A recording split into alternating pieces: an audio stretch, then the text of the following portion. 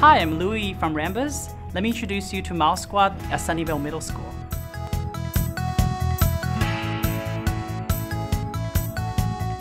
Mouse Squad is an after-school program where middle school and high school students get to come and learn about what it's like to be an IT specialist. We go through multiple modules that deals with computer hardware, how to troubleshoot hardware problems, software when you have a driver issue. Right now we're also on a software mobile application development where we're helping the students to develop their own Android application and really just show them how everything integrates together to form a game.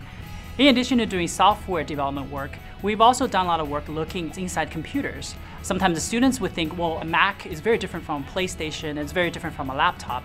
But once they take apart an electronic device, they could see that, oh, everything inside looks very much the same. There's a memory, there's optical disc, and that helps to take away the fear of students wanting to open up things and fix it for themselves.